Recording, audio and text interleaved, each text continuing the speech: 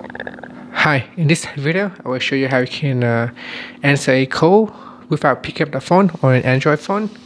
So you can answer a call, reject a call, or you can uh, put it on loudspeaker. So here it is. Hello?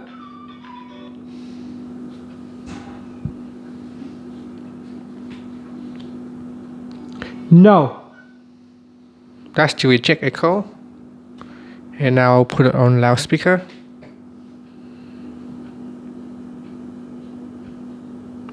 Speaker. Loudspeaker. We test on loudspeaker. Loudspeaker. Loudspeaker. So this on loudspeaker.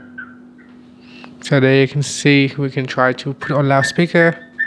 So that's how you can uh, pick up a call uh, without touching the screen. You can use uh, voice command.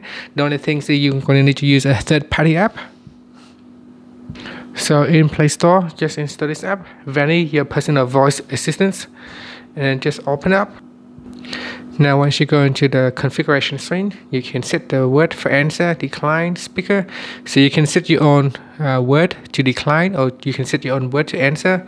Just tap on this uh, microphone button Hello? Hello? So decline? No. No.